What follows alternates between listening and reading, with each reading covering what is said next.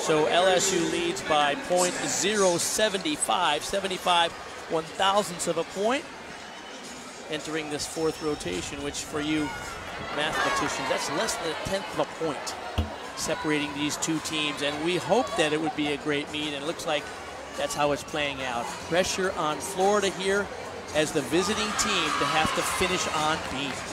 That was a gorgeously executed wolf turn, double wolf turn. Looked like she had ice water in her veins because it's not an easy skill, and she went big on it, really held that leg up high. Megan Skaggs, a sophomore from Marietta, Georgia. I do like Florida's leaps that that back leg, um, you can see the close attention they paid to keeping that leg straight and toe pointed. It's often easy to lose that as they're coming down.